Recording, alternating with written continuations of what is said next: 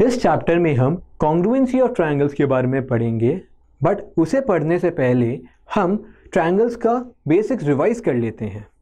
सो so, एक triangle होता क्या है?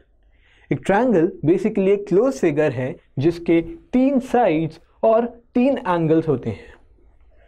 हम ट्रायंगल्स के न्यूमरस एग्जांपल्स अपने रियल लाइफ में देख सकते हैं जैसे कि एक सैंडविच ट्रायंगुलर शेप का होता है एक पिरामिड के फेसेस ट्रायंगुलर शेप के होते हैं और एक ब्रिज का स्ट्रक्चरल डिज़ाइन भी ट्रायंगुलर होता है।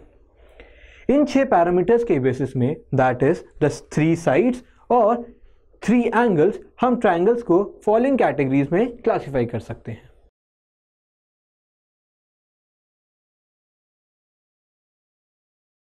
अब हम ट्रायंगल के कुछ इंपॉर्टेंट पैरामीटर्स के बारे में पढ़ते हैं। यहाँ पर मैंने चार ऐसे पैरामीटर्स लिखे हैं median angle bisector altitude and perpendicular bisector तो सबसे पहले मीडियन के बारे में पढ़ते हैं। मीडियन एक ऐसी लाइन होती है जो कि ट्रायंगल के किसी भी वर्टेक्स से उसके ऑपोजिट साइड पे बनाई जाती है सच दैट वो उस ऑपोजिट साइड को बाइसेक करे। गिवन फिगर में ए डी हमारा मीडियन है क्योंकि बी डी सी डी के बराबर है। नेक्स्ट है एंगल बाइसेक्टर एंगल बाइसेक्टर एक ऐसी लाइन होती है जो कि ट्रायंगल के किसी भी एंगल को बाइसेक करता है। गिवन फिगर में ए ई e हमारा एंगल बाइसेक्टर है क्योंकि एंगल बी ए ई ई ए सी के बराबर है। थर्ड इज़ ऑल्टीट्यूड ऑल्टीट्यूड एक ऐसी लाइन होती है जो कि ट्रायंगल के किसी भी वर्टेक्स से उसके ऑपोजिट साइड पे बनाई जाती है सच दैट वो उस ऑपोजिट साइड के परपेंडिकुलर हो।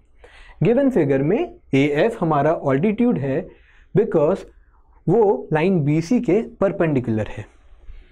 Last is perpendicular bisector perpendicular bisector एक ऐसी लाइन होती है जो कि ट्रायंगल के किसी भी साइड को बाइसेक्ट करे और एट द सेम टाइम वो उसके परपेंडिकुलर हो।